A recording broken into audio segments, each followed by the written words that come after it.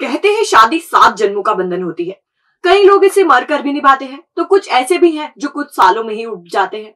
ऐसा ही मामला इंदौर के सदर बाज़ार थाना क्षेत्र का है। यहाँ पति ने अपना 20 साल का रिश्ता तीन शब्द कहकर खत्म कर दिया।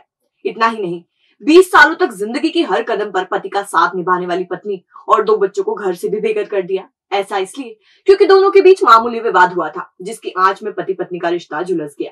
हालाँकि पत्नी ने एक्शन लिया तो कुछ ही देर में पति हवालात में नज़र आया।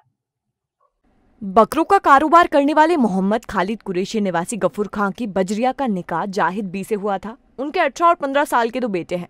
दरअसल, दोनों के बीच बुधवार को किसी बात पर विवाद हुआ था। विवाद बढ़ा तो पति ने घर की दहलीज पर खड़े होकर पत्नी को तलाक तलाक तलाक कहकर रिश्ता तोड़ दिया। इतना ही नहीं। उसने पत्नी के साथ दोनों बेटों को भी घर से बाहर निकाल दिया। इसकी जानकारी जाहिदा ने अपने परिजनों को दी।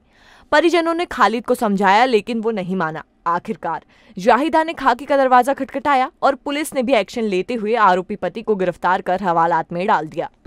दरअसल, यह मामला थाना सदर बाज़ार क्षेत्र के अंतर्गत गफूर खां की बजरिया इलाके का है, जिसमें कि एक मोहम्मद खालिद कुरेशी नामक व्यक्ति के द्वारा अपनी पत्नी से विवाद के चलते उसे तीन बार तलाक तलाक तलाक कह कर के छोड़ देने की बात कही गई।